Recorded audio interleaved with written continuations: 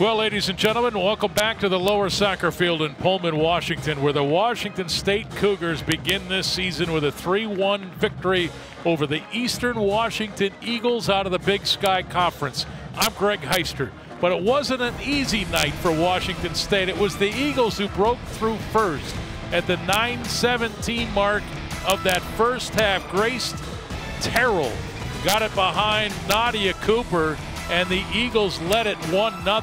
But it stayed that way until Margie DeTrizio able to find the back of the net at 62.07 of the second half. Kind of opened up the floodgates. And then a couple of freshmen went to work. Look at the feet by Naomi Clark. She got it by Cameron Willoughby. And then it was Reagan Kotschau's time. She too was able to find the back of the net.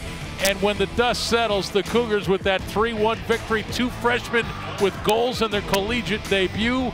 Margie DeTrizio with her 19th career goal, and Todd Shulenberger gets his 90th career win for Washington State. 3 1 the final from the lower soccer field. I'm Greg Heister. Good night.